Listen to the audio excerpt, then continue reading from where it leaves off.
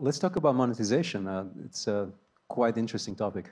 So what are some of the newer ways alternative data being monetized? You can think of data as kind of the nutrients or fuel that uh, is going to enable a, a whole new era of digital solutions. I've been involved in what we're calling knowledge management for Gen AI, where once you get past your initial use cases, let's say the most typical one is coding, programming, and, and reducing programming time, it really is a huge productivity enhancer for developers. Uh, quality checking code, uh, a variety of things like that. And you start to say, how can I go deeper within a company or a sector? That's where you start to get into specialized knowledge.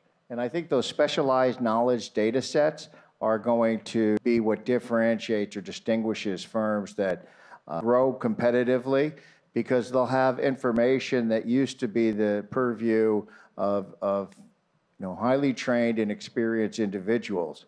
Those individuals can now create agents based upon what they know. There's the old joke about the person who was asked to fix a, tr a train engine that didn't work, and he walks around the train engine and then he opens up his toolbox, takes a wrench and gives it a whack, and then the train engine starts, the locomotive starts, and the town, the town says, how much do we owe you? He says, $1,000. They say, well, can you give me the itemized bill?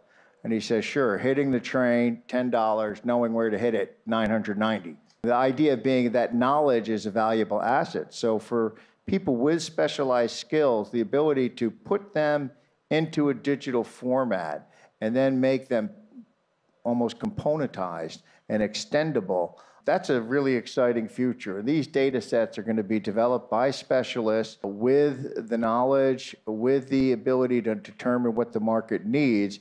And then there's going to be a whole economy uh, built up around really, really trading knowledge and skills in a digital format in a way that we've never done before.